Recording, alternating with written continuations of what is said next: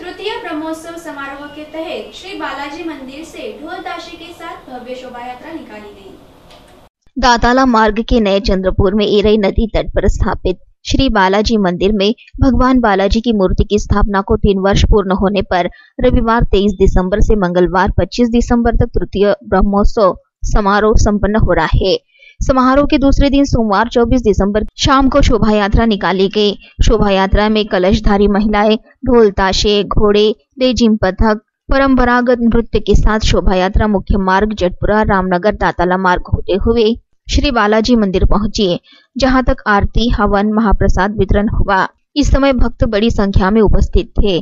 शोभा यात्रा में पूर्व सांसद नरेश बाबू पुगलिया, युवा नेता राहुल पुगलिया पुगलिया परिवार प्रतिष्ठित नागरिक और समाज बांधव उपस्थित थे।